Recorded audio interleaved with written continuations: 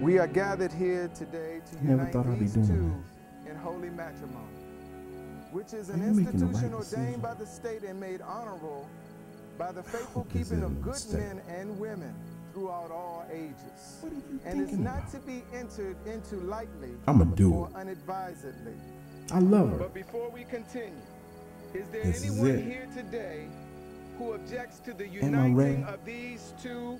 Well, if Speak you ain't now ready, you or better get forever ready. hold your peace. Yes, I have something to say. Aren't you in love with all the bridesmaids? Well, you are partially right. Yes, I love the Golden Princess.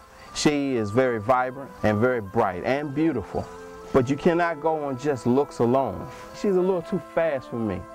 And this particular plant, I feel like she will one day tell me that she's going to outgrow me. On top of that, she gets powdery mildew, she gets aphids and scales. And I tell you, when that happens, she loses all her leaves, and I truly believe she's going to lose her luster as well as her love for me. The ice plant, I love her very much. We spent a lot of time together. I planted her on many borders, but I will tell you this about this particular plant. This plant, when it spreads, it gives an array of beautiful colors. But it's, an, it's a succulent. And basically succulent plant, they store water, which that means I believe that this plant, no, not just believe, I know that this particular plant has stored some secrets. And that means that is a, a distrust between us.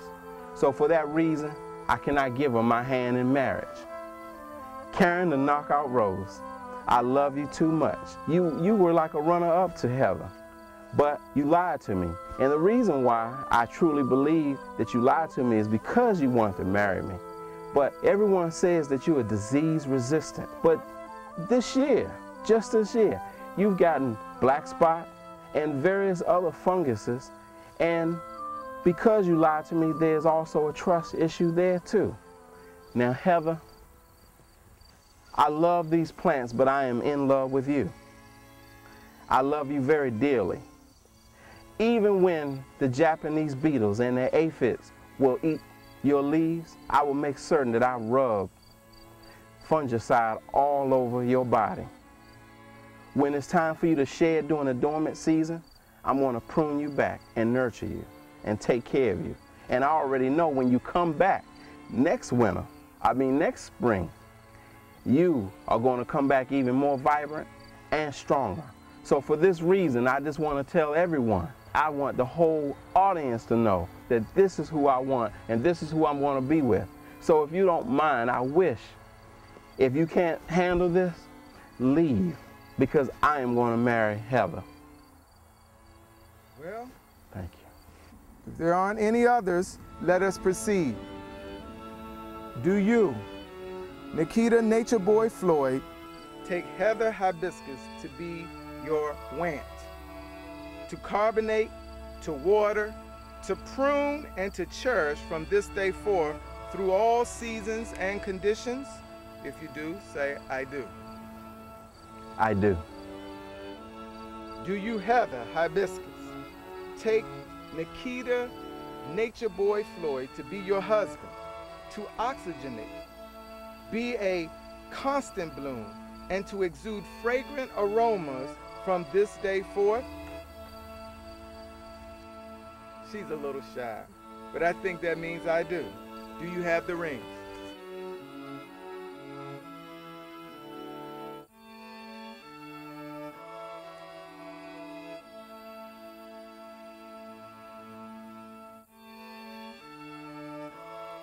I have mine.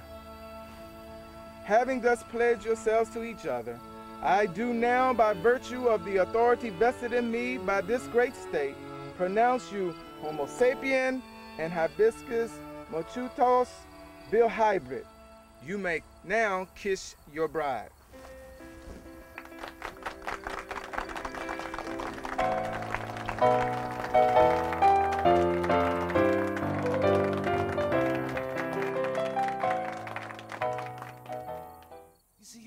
Flower that blooms in any season. And that's why I like to say, Now this is going green. you're my flower, Take care. baby. You're my flower.